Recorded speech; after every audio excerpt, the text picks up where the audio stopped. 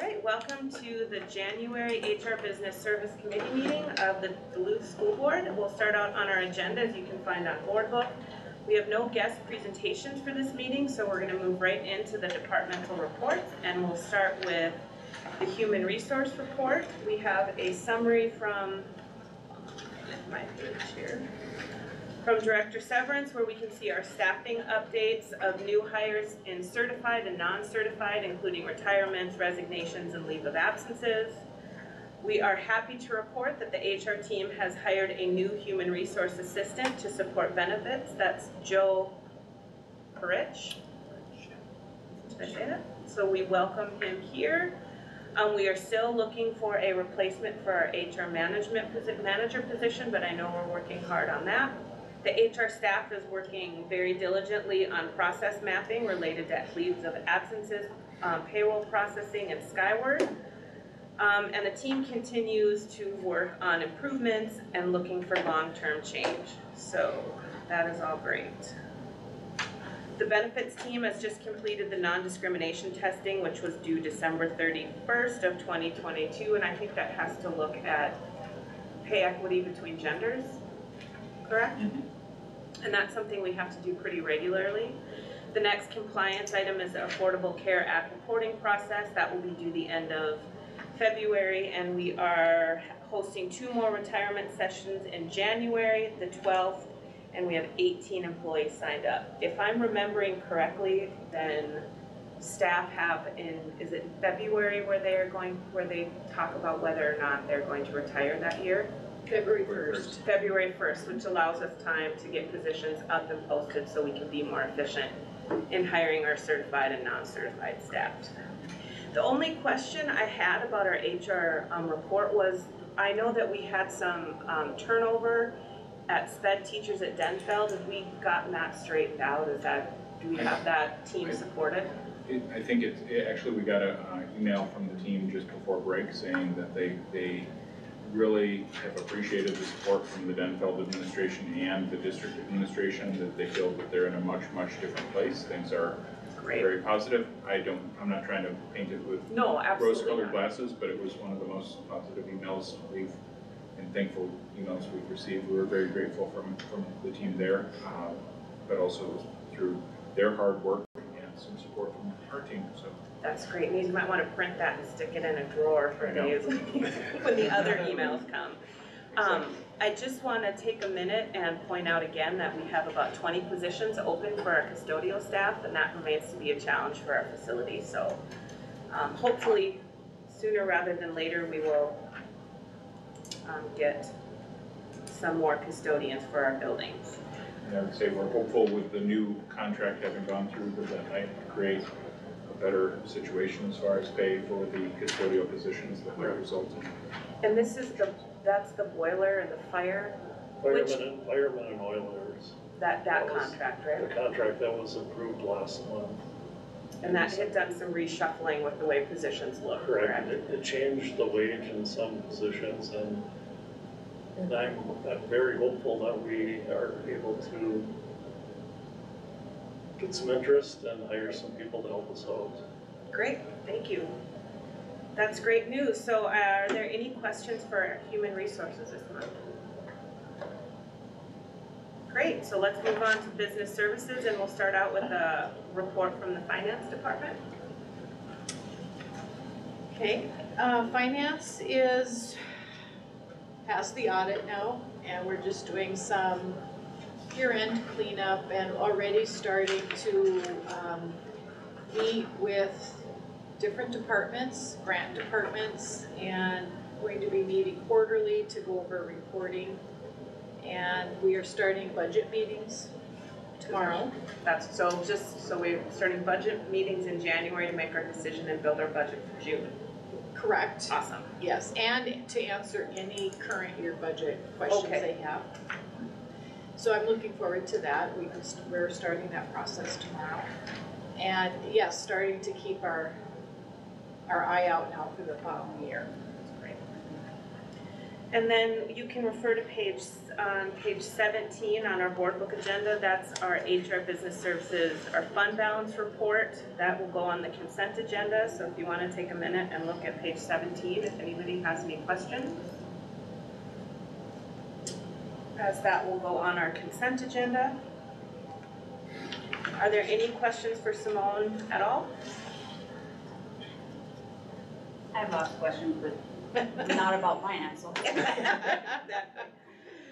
We've given our, um, given that that we're focusing on enrollment and things like that, we do have a change from that department. Yes, yes, we will talk about that. Great, that's exciting. So we'll move on next to the enrollment report, and I'm always happy to see you when we have more students um, in our buildings than what we budgeted for. No, it's great. Um, and to what, first to what John was referring Yeah. to, Cattery has moved on to a super exciting opportunity. We've hired Kayla Carroll, um, to that. be to be the new MARSS coordinator. She's starting training and Cattery has so graciously agreed to, um, you know, do training and, um, we have a contract with her. So we're very happy. I feel very confident that everything should be seamless. And she, Cattery did provide these reports and uh, will be helping us do our monthly reporting students. Great, many thanks to Cattery for that. I will share that with her. Thank you. Very much. And then I know usually when we see December, there's a change of enrollment from December to January just because of graduations. When, when do those usually show up in the enrollment report? Um, that might be February. February, that's- Because she, she staggered her date so she could not only do this, but do a reporting that's on, there's a reporting on January fifth. Yeah. So that will all be reflected in February. In February? Yes. Perfect, so we can look forward to see how those numbers are gonna, Yes. we historically see a few, fewer students just because we have seniors graduating. Correct. But the good news is the projected ADMs are up hundred and five point six one, so we're very happy about that. Do we have any questions on our enrollment report for this month? Awesome. Moving on to our child nutrition, nutrition departmental report. Graciously, what was it, November, we got a presentation from our child, yep, from our child nutrition. For December, you can see the number of meals that the Duluth Public Schools serve. And Alana, this is of note for you, right, is that they're starting the after-school meals program of Denfeld, because you always ask that question. This summer, yes. That's great. Are there any questions? Except excitement about starting on one four, we started our after-school meal program at Denfeld, which is really exciting. And it is Monday through Thursday. Monday through Thursday? Okay. And that was a staffing problem previously, Hundred percent, yes. That's There just great. simply wasn't anyone to do it. so we're making progress in our staffing shortages, that's great. Moving on, we have our facilities report, and hold on, Mr. Spooner, let me guess. We're still in remediation for PSS trap one? Correct. Okay, I just. I think if the board desired, I could get our attorney to come into a closed board meeting in which we could discuss. I am hopeful that I'd have further news within two months, but I'm thinking if it goes beyond that, I'd like to bring Mark Knudsen in to a closed session. If the superintendent would like that, and then we can talk about where we're at. It, uh, It's not a stalemate, but it's a lot of going back and forth. So I'm, I'm still hopeful, but it's taken a long time to happen. Yeah, yeah, that's great. Um, I think that's something that this, we can talk with the superintendent and see what his desire is for that, but Sure. I, I agree for sure. And then as far as the balance of my report, I'm not sure it makes sense for me to read it line for line, but we've touched on a couple items, and that's the new contract. I'm hopeful that we generate some interest in filling custodial positions, and I, I feel good about that. The new construction is really coming along really quick. DSC is looking good, transportation is looking good, facilities is looking good.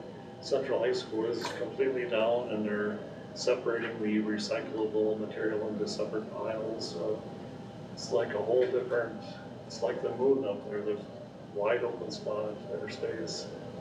So that's looking good. Um, work comp numbers are, are available for those that want to read them below. And, um, trying to think if there's anything else. The change orders that we have, um, for the Congdon Park masonry and window, is this still, is this different than the change orders we looked at last month? This is different than last month. This is coming up on the agenda later on, but I can talk about it now. Yeah, why don't you go ahead and talk about it It, now? uh, this project initially was Congdon Park window and masonry in two thousand nineteen. And COVID severely impacted the ability of contractors to do work. So we ended up taking it from windows and masonry to masonry one year, windows turned into two years. And the proposal that MRJ Consultants gave us was for one year. And the forty-six hundred plus dollars is to cover the additional trips that they've made from Minneapolis to do site observation, construction management. And I, I agree, it's, it was really hard for them to manage, or to, to know that it was going to be a three-year project compared to a one-year. And that's the sole reason for the change that I'm bringing forth uh, this month. Um, what, so the roughly forty-seven hundred dollars, we're still look to be within our budget range for this If you project take the overall? masonry and the windows, we're, I'm going off the top of my head, but we're roughly two hundred thousand under than anticipated. For the two projects together, from nineteen to twenty-two. Three consecutive years, so we're under, under the anticipated budget. That's great news. And I think, was that the only change order that we had this month Correct. associated with any of the projects? So that would be, um, under the consent agenda. Right. Okay. If I could add, uh, Mr. Spooner and I, Spooner and I have talked about the uh, development of the work up on the hill, and I think that we're reaching a point that where it would be interesting for the board to maybe have another opportunity, if you want to see our progress, we can schedule some touring in the, in the next month or so. I'm thinking in the next four to six weeks, I, I think it would be best if the windows were in the DSC, they're going in right now, probably four weeks. That It's pretty cluttered right now, I was in there yesterday and I think it might be, there might be just too many hazards for us to be walking around. Maybe right after the February break. That would probably work out well. Yeah, be excited. And just for the public, if anybody has any, um, desire to see the progress, you can look in board book and refer to page, I think it's like twenty-four of the, of the agenda and everything, and you can see some great pictures and all the progress. The one that's crazy is looking at, um, Central Hill demo with it ninety percent being gone, it just Right. looks, just, Everything is down right now except for the boiler room. And there's, you know, scattered piles of yeah, steel or concrete, but it's, it's far different than it was the last time people were up there. yeah, I'm looking forward to seeing the change. Are there any questions for s- facilities? I do have a question about the Congdon Park, Park playground construction. Um, is, are they gonna be getting a, a playground that's similar to all of the other playgrounds that we have? Correct. We, in two thousand thirteen, that was the only playground that was not updated. We, we added the climber and the swing set. And right now I'm evaluating if we can keep those two components, which I think we can. But our boilerplate playground will be used as the basis for creating the, the new layout structure. And I'll be working with Kathy Marshall and the parent groups to ensure that they all agree with our plans before we bid that, but it'll be based on the district standard. Thanks. All right, thank you. And that's good news about the sped bathroom at Denfeld. So are they currently using it right now? It's completed and I would hope they're using it. Yeah. It, it was a long, long, long project. Long process, right? Does anybody else have any questions for Mr. Spooner? And I think we covered the change order and, yeah, I think we're good. Thank you. So moving on next to our technology report. Yeah, um, for the technology report, I wanted to make one correction and one update and answer any questions. Uh, so I had seven point five emails were identified as spoofing, actually it's seventy-five, I forgot a K in there. Put. And then for our E-rate bid, uh, actually, we have a new bid out, uh, which replaced this one, it's thirteen sixteen. Uh, we had a typo on our first bid, uh, one of the vendors who were bidding on it had a question on it. Uh, we forgot an A in one of the part numbers. Uh, so you can't send an addendum out or anything like that with an E-rate, so we had to start from day one, repost it, so it's a whole new bid, um, with the A in there as a part number so it's thirteen, uh, sixteen, it's gonna go to next month's, um, meeting as well as the school board for review and approval. So, But this was the, we talked about this last month, there was only one bid that came in on this project. Uh, no, this is a new one. Oh, is this a new one? We Okay. will be opening the bids, it was supposed to be open on January twenty-fourth, it got pushed back because we have to have it posted for twenty-eight days. So it's Got gonna be February seventh, Okay, so we have a placeholder, uh, business committee meeting. um, for next then- month. for next month. Okay. And then it's gonna go to the school board. So it was already in place, Kathy already had that in place for, for the, the, uh, bid from last, last time as well, so. It's gonna go to the same, same meeting, same stuff, so we have, we made the timeline. Um, If there's any questions, I can answer any questions. I have a question. Under the, the technology report, um, it says one point one emails, email messages accepted or delivered. And then it says one point two million were identified as spam. That's all, so it's like two point three million emails were sent to us. Or two point three million. Yeah, total. Uh, Okay. so we're getting double amount of spam. Yeah. They're just, I we're just, just, it feels like we're getting, and it's fault of anything, but I just figured if we, we're spending a, a minute on each of those emails on average, because some are no time and some are twenty minutes. That's like four years of people's time spent on email, Yeah. unfortunately. Takes a lot. Great, are there any other questions regarding the technology report? Awesome, so now we move on to our tech, uh, no, to our transportation, and I just want to start out and thank our transportation department for the work they've done through December. Um, so I read through our report, and is there just a quick clarification? So currently, who is, what am I talking about? Just give me one second here. Who's in charge? Yes, So, um, our assistant transportation supervisor, Jeremy Casapitas. yeah, that's Has been in the position since the third week of November and has really stepped up and has been doing a wonderful job.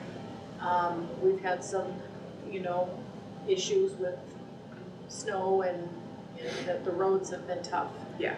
And he's really, you know, had to learn some things, but he's doing a great job and we, um, uh, you will be approving, uh, Steve Johnson's resignation Okay. in this, uh, in, towards the end here. Okay. And, um, we are looking to replace the manager and then hire an, uh, you know, whoever else we need after that.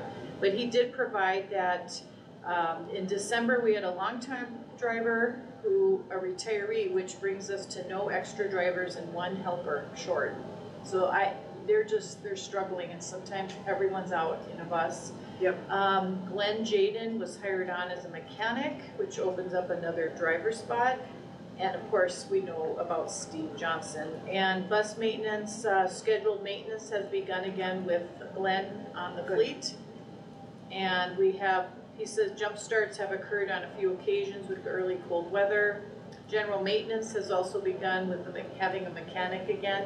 And uh, Glenn is only able to work on buses between his route coverage at this time. So they are scrambling and I want to thank our transportation department. They have really stepped up and they're And- doing the best they can. And it appears that Voyager is helping us quite a Yeah. bit as well. Voyager has I was gonna say been a great partnership. Yeah, Uh, They've been amazing.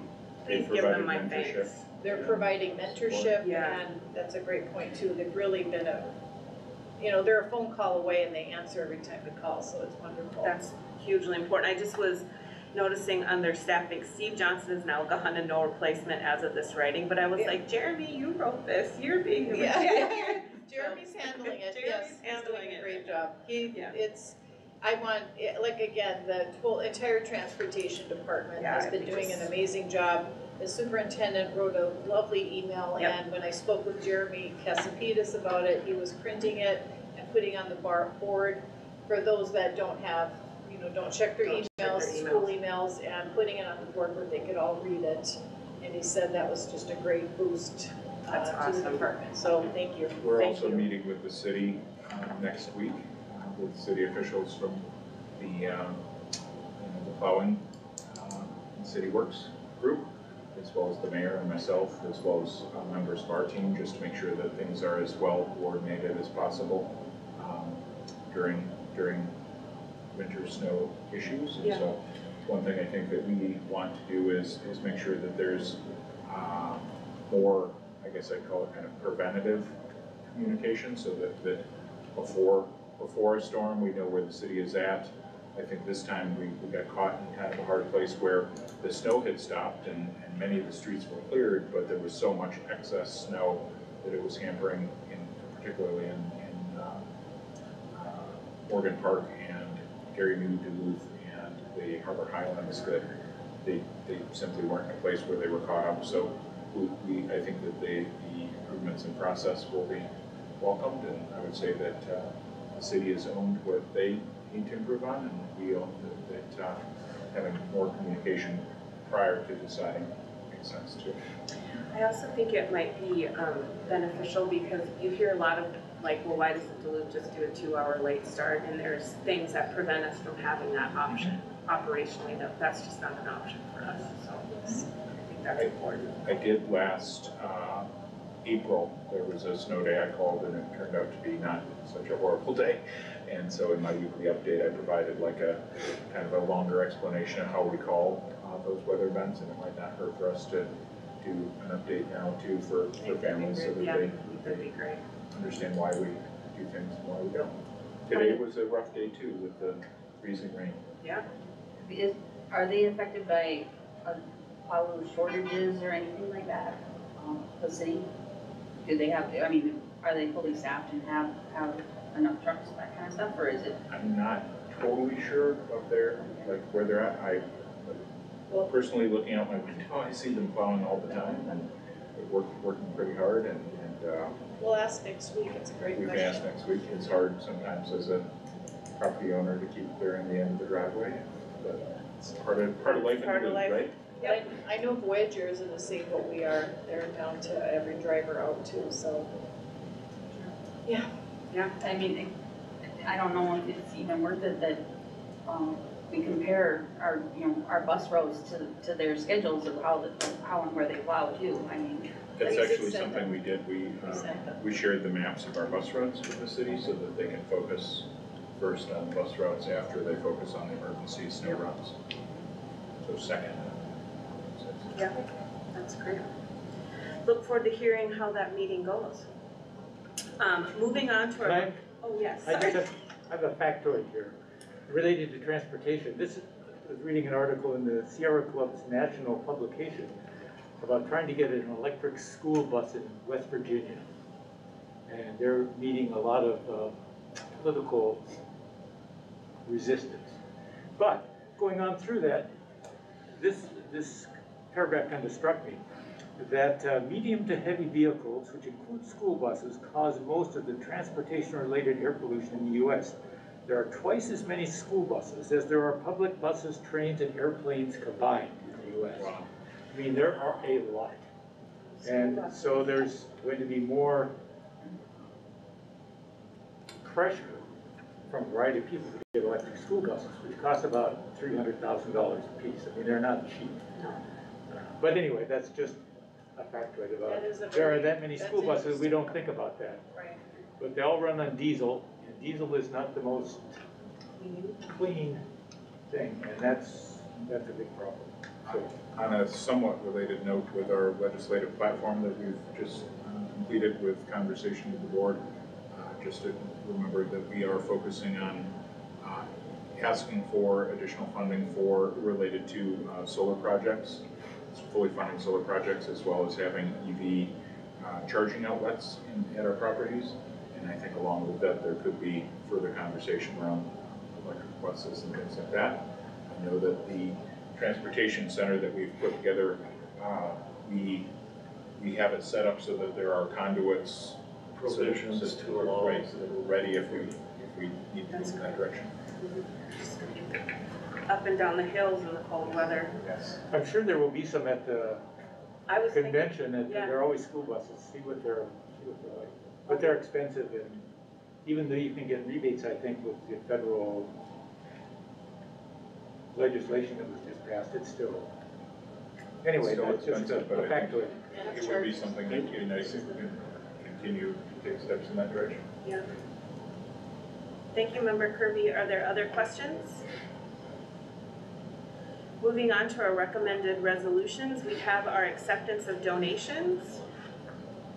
And I just want to take a moment here and thank a couple, thank everybody who's donated to the Duluth Public Schools, but it appears that Timothy Nelson and A and L Properties have given a tremendous amount for the ALC um, student holiday auction, so I just want to um, point out that they've done some great work for our students at ALC. We will be taking off the release and pledge of collateral, that's resolution on um, page 13. We approved that, uh, yep, we approved that at the organizational meeting, so this will not show up in, for our regular school board meeting. But the next resolution, our acceptance of grant awards to the Duluth Public School will. And just to bring one back to our previous meeting, on here is a resolution to accept a grant from the Minnesota Department of Transportation Safe Route to Schools for forty-five thousand dollars for Congdon Park Elementary for a safe route to school plan, so that's really exciting. And work, um, that we are working on, work that we're working on, that's really profound. Okay, so those are the two resolutions that we'll be bringing forward to the full school board meeting in a couple weeks. On our consent agenda, we have our HR staffing report. And that is, included on there is the resignation, right, of our transportation. um, Of our transportation director. Um, next, we have finances, our financial report, um, and Simone talked about that during her presentation. Also, the fundraising reported, and Lester Park did some great fundraising there. Um, next, moving on, we have no bids, RFP, or quotes this month, but we do have a change order regarding Congdon Park, um, Elementary School masonry and windows that Mr. Spooner spoke about earlier. As we move on to miscellaneous informational items, we talked about the district property update and Mr. Spooner's update for facility, the facilities departmental report. Um, moving on to our expenditure contracts. Um, we have some expenditure contracts signed with University Nursery School, CDW Government. Um, Can- does this have to do with our technology? This, um, CDW Government LLC, ISD recently migrated to a PA fifty-four ten? Uh, yes. That's our, that's our firewall, Oh, okay, yep, our firewall filtering for the district. So it was an E-rate bid from last year, okay, so they changed the scope of work that they needed. Uh, so it's less, so it's less. it's less and they wanted a new statement of work and a new contract signed. Great, thank you, Bart.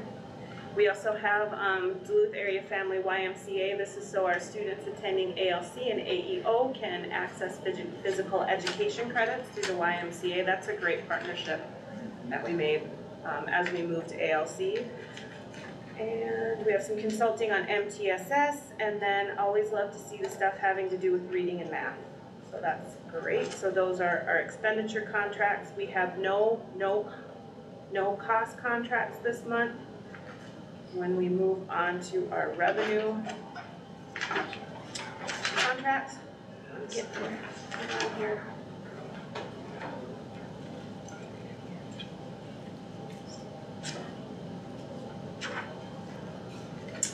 Um, we have a contract with St. Louis County Youth in Action and then the Northland Foundation. So those two are revenue contracts and then our grant applications are next, starting on page seventy. And our grant application, um, have to do with several, a pollinator garden, that's great. And then some work with the Minnesota State Colleges and University, Minnesota Department of Education, having to do with the Come Teach in Minnesota. This is where we try to get teachers, um, American Indian teachers or people of color to come to Minnesota and teach in our schools. Um, there's another for a Minnesota Department of Natural Resources and the Minnesota Agricultural Education Leadership Council. So those are our grants for this month, and then we have no change orders signed. Are there any questions over any of the information that we just talked about? That concludes this month's HR Business Services Committee meeting. Thank you. I think you. Made history.